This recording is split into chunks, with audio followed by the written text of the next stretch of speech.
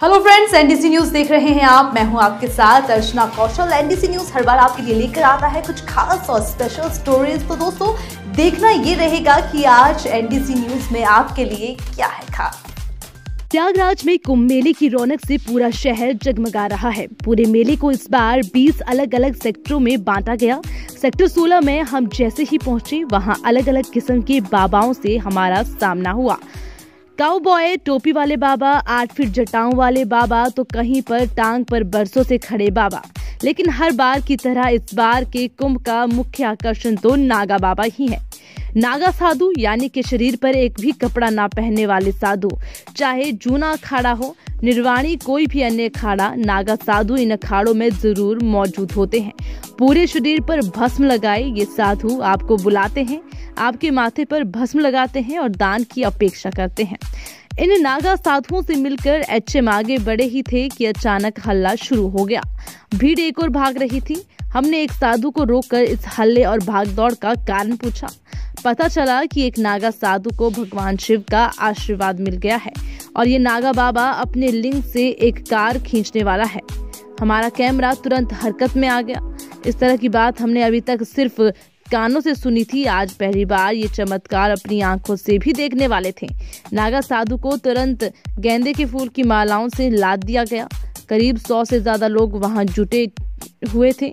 Announcement करने वाला पूरे जोरों शोरों से चिल्ला रहा था। नागा बाबा को शिव जी ने खास आशीर्वाद दिया। यकीन ना हो तो खुद अपनी आँखों से देख लो। भीड़ में आस्था की लहर और तेज हो गई। हम भी भीड़ में घुस चुके थे, फिर शुरू हुआ असली खेल। नागा बाबा ने अपने लिंग से कार में लगी रस्सी को बांधा और हर हर महादेव के साथ कार को खींचना शुरू कर दिया। कार की ड्राइविंग सीट पर भी एक बाबा बैठा था।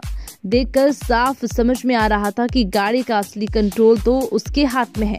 लेकिन फिर भी कम से कम 150 किलो की कार को अपने लिंग से खींचना कोई आम बात नहीं थी। लेकिन ये कैसे संभव है? किसी भी व्यक्ति में क्या भगवान के आशीर्वाद से इतनी शक्ति आती है या इसके पीछे कॉपी दूसरा ही कारण है? दरअसल नागा साधु वो साधु माने जाते हैं जो दुनिया वालों की बातों से ऊपर उठ चुके हैं। इसलिए उन्होंने इंसानी जीवन के तीन मूलभूत बंधन, रोटी, कपड़ा, मकान छोड़ दिए और हम जितने नागा साधुओं से मिले, उन्होंने बताया कि उनका कोई घर नहीं होता। वो जंगलों में घूमते रहते हैं, पहाड़ों में रहते हैं और हर कुछ, हर महीनों में अपने रहने का स्थान बदलते रहते हैं।